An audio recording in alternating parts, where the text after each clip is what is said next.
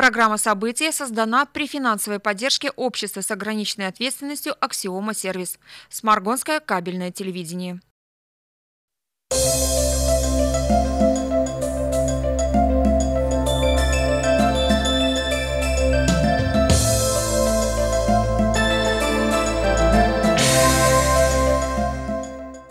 Здравствуйте! Вы смотрите информационный выпуск программы «События». Об основных из них расскажу вам я, Анна Лешкевич. Президент Беларуси Александр Лукашенко 28 января указом номер 30 утвердил государственную инвестиционную программу на 2016 год, сообщили Белта в пресс-службе белорусского лидера. На финансирование 99 объектов, включенных в программу, предполагается направить 4 триллиона 584,1 миллиарда рублей. Намечено начать финансирование строительства и реконструкции 19 новых объектов. Всего в 2016 году в соответствии с программой предполагается ввести 36 объектов. Гродненский облсполком в 2016 году направит около 62 миллиардов рублей на поддержку инновационных проектов, сообщили на встрече с представителями науки региона председатель областного совета депутатов Игорь Жук, передает корреспондент Белтак. В феврале белорусы получат новые жировки. В них изменятся не только тарифы, но и количество строчек. Напомним, в январе вступил в силу указ президента Республики Беларусь номер 535 о предоставлении жилищно-коммунальных услуг. Как нужно будет платить за коммуналку по-новому, выясняла наша съемочная группа. Указ президента Республики Беларусь номер 535 о предоставлении жилищно-коммунальных услуг по задумке его разработчиков призван усовершенствовать порядок финансирования организаций ЖКХ и повысить эффективность их деятельности, а также усовершенствовать порядок предоставления отдельных жилищно-коммунальных услуг. Уже выведены из состава технического обслуживания это уборка мест общего пользования, вспомогательных помещений. Это уже будет значить, что за места общего пользования, уборку подъездов будет платить у нас население э, по соответствующим тарифам и соответствующим затратам. Э, также основное в этом указе оговорено, что будет оплата производиться населением тоже 100% за освещение мест общего пользования будет оплата производиться, плюс за пользование лифтами будет оплата 100% производиться тоже также населением за те лифты, которые не пользуются. Теперь услуга «Техническое обслуживание лифта» предусматривает плату не только за его исправное техническое состояние, но и за энергию, затраченную на его движение. Данный вид затраченной энергии жильцы будут оплачивать в зависимости от того, сколько человек зарегистрировано в квартире. Учитывая то, что лифт всегда должен находиться в технически исправном состоянии, независимо от того, есть жители в квартире или нет, плата за содержание общего имущества взимается со всех соразмерно занимаемой площади.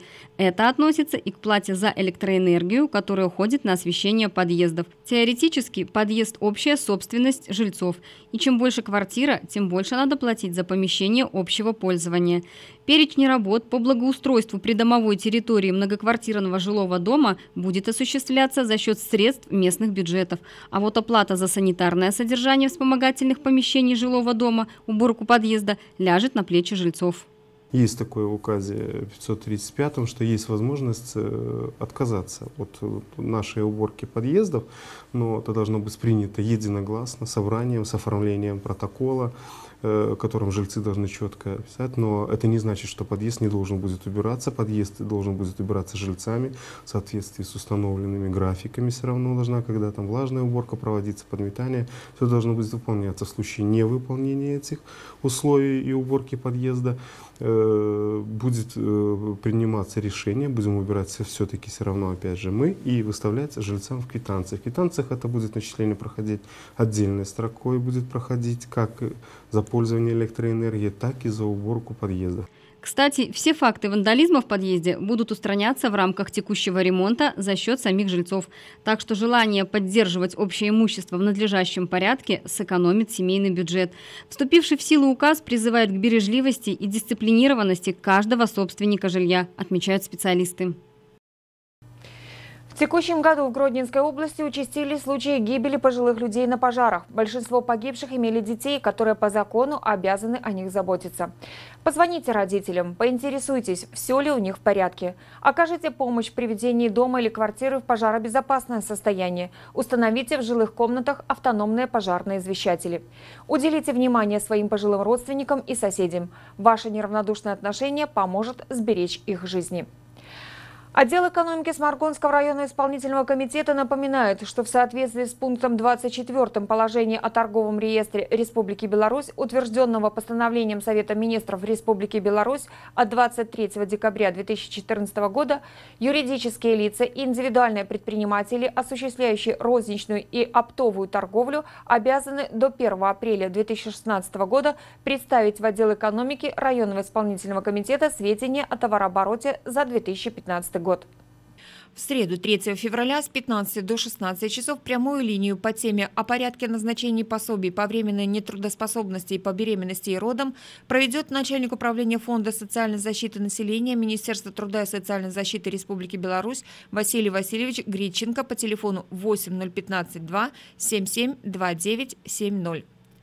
Также в среду 3 февраля с 10 до 12 часов прямую линию по вопросам декларирования доходов проведет начальник инспекции Министерства по налогам и сборам по Сморгонскому району Ирина Леонидовна Карабинская по телефону 3 22 29.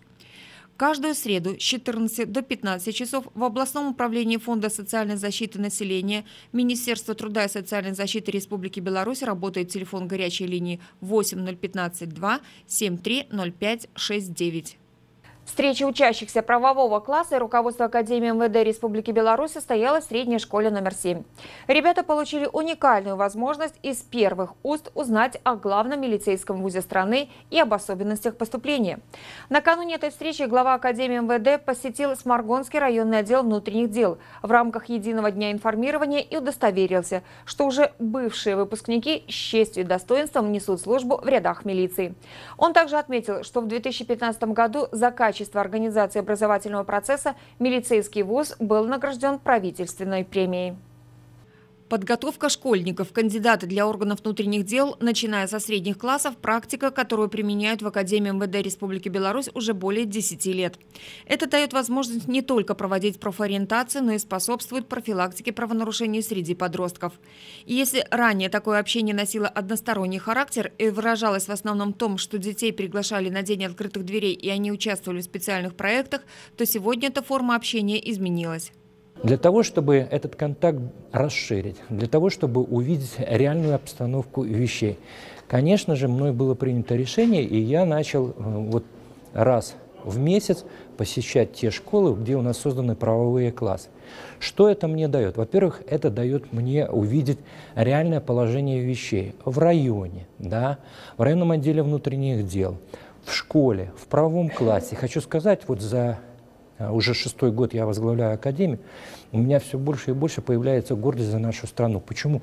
Потому что я не понаслышке, а реально вижу, как изменяется лицо районных центров. Они преображаются, они становятся краше, интереснее, ухоженнее.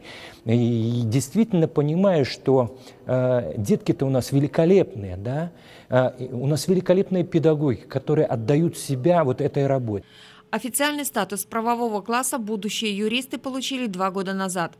Тогда на базе средней школы номер 7 был подписан четырехсторонний договор о сотрудничестве и совместной профориентационной работе между Академией МВД Республики Беларусь, школой, отделом образования, спорта и туризма Сморгунского райисполкома и районным отделом внутренних дел. В первый год обучение проходило в форме факультативных занятий, и ребята не воспринимали это всерьез, но за два года их отношение изменилось. Когда в 2014 году был подписан договор о сотрудничестве с Академией ВД, все это, конечно, приобрело более серьезный, скажем так, формат, форму, и дети уже были посвящены в правовой класс, была пошита специальная форма, которую они носят и по сей день. И вот вы знаете, это, наверное, вот может быть форма, может быть вся эта серьезность передала им, конечно, другое отношение. Они уже по-другому смотрят на свое поведение, на свое вообще, наверное, восприятие чего-то. Вот правовая культура, конечно, у них повысилась уже. Первый год э, мы знакомились с этой программой, нас водили на концерты, которые мы посвящены Дням милиции, ну и несколько раз нас водили в сам РОВД. В этом же году и в прошлом, когда нас посвятили уже в правовой класс, мы ездили в Лиду на День открытых дверей в Академии МВД, также были в паспортном столу, ходили в прокуратуру, в суд, нас возложили большую ответственность. Теперь мы стали лицом школы, поэтому мы отвечаем как за школу, за свой класс, так и за учителей. Как отметил начальник Академии МВД Республики Беларусь Владимир Бачилов, в составе информационной группы он каждый месяц посещает районные отделы внутренних дел, где выступает перед сотрудниками. При этом предпочтение отдается районам, где созданы правовые классы. Этот статус получили учащиеся 59 школ республики и 7 кадетских училищ и лицеев. И главным критерием профориентационной работе сегодня выступает мотивированность выбора профессий будущих курсантов мы стараемся вот этой профориентационной работой помочь ребятам как можно быстрее прийти в академию. Мы им подсказываем, как нужно учиться. Мы им оказываем э, мы оказываем им э, сопровождение да, в ходе э, вот того этапа, когда они обращаются в районный отдел внутренних дел и проходят сложные этапы, такие как медицинские комиссии, проверка по Э, различного рода учетом и так далее, и так далее. Э, мы помогаем ребятам, как э, поступить в той или иной ситуации. На встречу с руководством Академии МВД Республики Беларусь пригласили не только учеников правового класса, но и будущих выпускников. Генерал-майор Владимир Бачило рассказал об организации учебного процесса в главном милицейском вузе страны, преимуществах, курсантов перед студентами других учебных заведений и перспективах карьерного роста в органах внутренних дел. Ребята задавали вопросы по интересующим темам и могли получить подробные ответы. В соответствии с планом подготовки по предназначению в 2015-2016 году в военном комиссариате Сморгонского района проводили занятия по боевой готовности. Их главная цель – повысить уровень готовности военного комиссариата и элементов базы проведения мобилизации граждан и транспортных средств, приема мобилизационных ресурсов на территории Сморгонского района. В ходе занятий были, было проведено уточнение задач и функциональных обязанностей должностных лиц военного комиссариата. Проведены практические занятия и тренировки с должностными лицами пункта управления военного комиссариата, а также э, с администраци администрацией базы проведения мобилизации граждан и транспортных средств, базы приема мобилизационных ресурсов территориальные войска на территории Сморгонского района. Значит, привлечены были не только личный состав военного комиссариата, а должностные лица районного исполнительного комитета, территориальных органов Министерства внутренних дел, Министерства по чрезвычайным ситуациям, Комитета госбезопасности Республики Беларусь, э, военнообязанные, предназначенные э, для доукомплектования военного комиссариата, органа управления территориальной обороны и воинских частей территориальных войск, а также военнообязанные, предназначенные в состав аппарата усиления военного комиссариата и не военнообязанные. В ходе занятий значит, должностные лица, которые привлекались на них, показали хорошие знания своих функциональных обязанностей. Своевременно и организованно приступили к практическому их выполнению. Вот. Э, недостатки, которые в ходе работы возникали, у должностных лиц, значит, существенного влияния на выполнение задач не оказали. Можно сделать вывод, что учебные цели занятия достигнуты. Э, должностные лица пункта управления военного комиссариата, а также администрации э, элементов базы проведения мобилизации готовы к выполнению задач по предназначению. Традиционный фестиваль духовной музыки «Слава Вышних Богу» собрал в Центре культуры города Сморгоне 14 церковных и светских хоровых коллективов Островецкого, Ашмянского и Сморгонского районов. Организаторы надеются, что проведение фестиваля станет очередным шагом в направлении сохранения и развития церковно-певческих традиций. Высокая исполнительская культура 14 детских и взрослых певческих коллективов Островецкого, Ашмянского и Сморгонского районов, собравшихся на традиционном фестивале-конкурсе духовной музыки, заслуживает самых возвышенных эпитетов. По словам священнослужителей, вера всегда помогала нашему народу выстоять в самые непростые моменты становления государства, а пение является неотъемлемой частью служения Богу. Это великая радость, это наш, начало нашего спасения. В мир приходит Христос, чтобы всех дел, сделать чадами Божьими, чтобы примирить человека с Богом, чтобы даровать тот потерянный рай. Вот, и поэтому Рождество Спасителя – это начало нашего спасения, начало нашего, нашей радости. С нами Бог.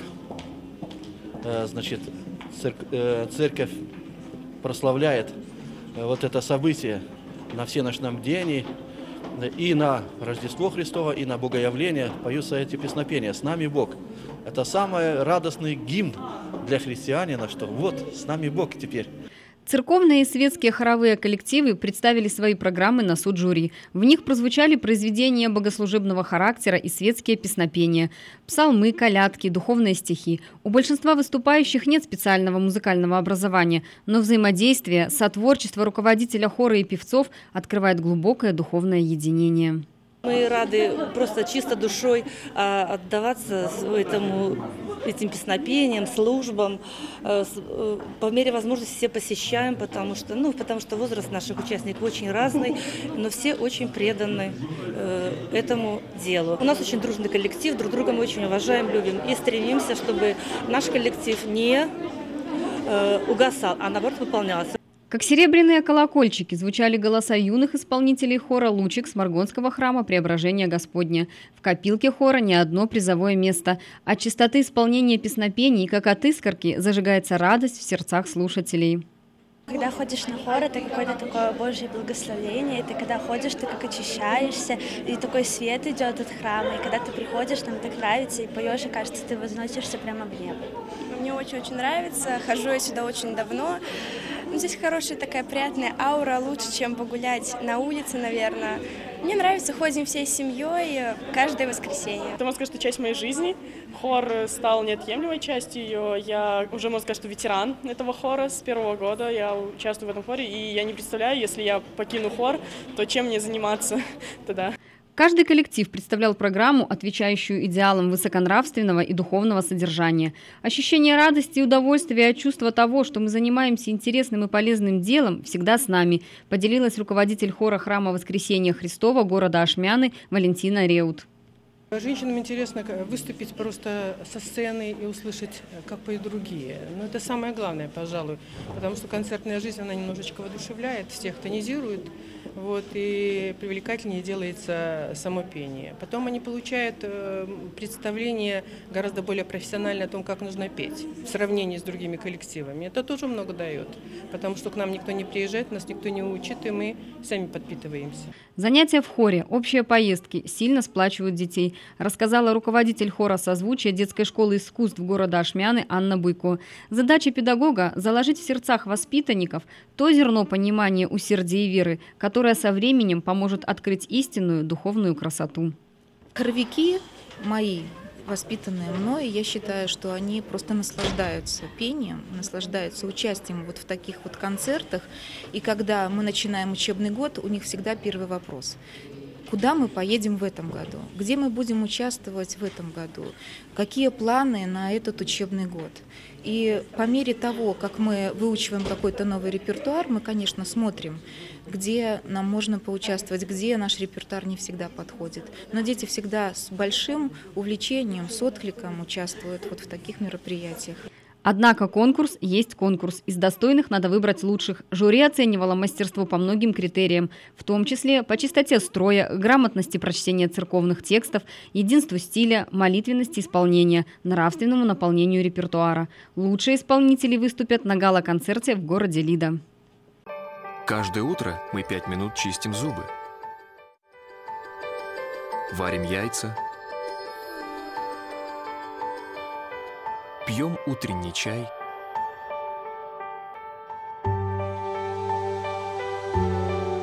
Пять минут ждем следующего трамвая.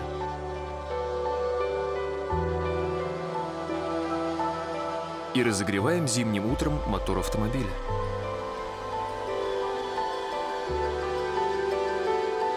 Делаем бутерброд за пять минут, пока идет реклама – и наше сердце стучит за пять минут более 300 раз.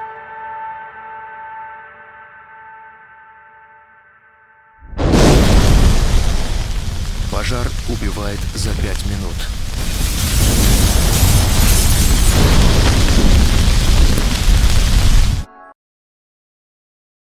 Программа события создана при финансовой поддержке общества с ограниченной ответственностью «Аксиома Сервис».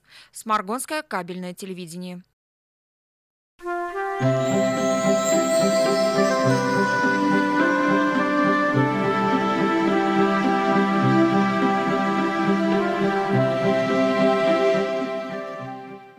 Зима в текущем году продолжалась 4 недели, а не 2, как в прошлом. И ситуация в феврале развивается по декабрьскому сценарию. Как сообщают синоптики, первая половина февраля будет теплой. Среднесуточная температура воздуха окажется выше нормы на 6-10 градусов и больше будет соответствовать концу марта. Конвейер по производству атлантических циклонов заработал с новой силой. В ближайшие дни погода на территории Сморгонского района будет неустойчивой, но очень теплой. Во вторник, 2 февраля, ночью при прохождении теплого атмосферного фронта ожидаются осадки в виде мокрого снега. Температура воздуха составит около нуля. Отдельные участки дорог будут скользкими. Днем мы окажемся в теплом секторе циклона с центром над Скандинавским полуостровом. Пройдет кратковременный дождь, юго-западный ветер усилится, его порывы достигнут 15-18 метров в секунду, а температура воздуха повысится до плюс 4, плюс 6 градусов. Облачно с прояснениями. В среду, 3 февраля, на территории Сморгонского района сохранится влияние циклона. Его центр будет находиться над Финляндией. Установится ветреная погода порывами до 15-20 метров в секунду. Температура воздуха в течение суток составит плюс 3, плюс 5 градусов. Облачно с прояснениями. Временами пройдет кратковременный дождь, к вечеру возможен мокрый снег. В четверг, 4 февраля, Сморгонский район окажется в тыловой части циклона, который начнет смещаться на Кольский полуостров. Ветер ослабнет, атмосферное давление подрастет, пройдут осадки, в основном в виде мокрого снега. Отдельные участки дорог будут скользкими. Столбики термометров в течение суток будут держаться на уровне 0 плюс 2 градуса. Ветер западный, ночью порывистый, днем умеренный. В ближайшие выходные дни синоптики прогнозируют комфортную теплую погоду. Температура воздуха будет намного превышать среднесуточную норму и составит 0 плюс 5 градусов. Пройдут небольшие осадки. Это были главные темы нашего выпуска. До свидания.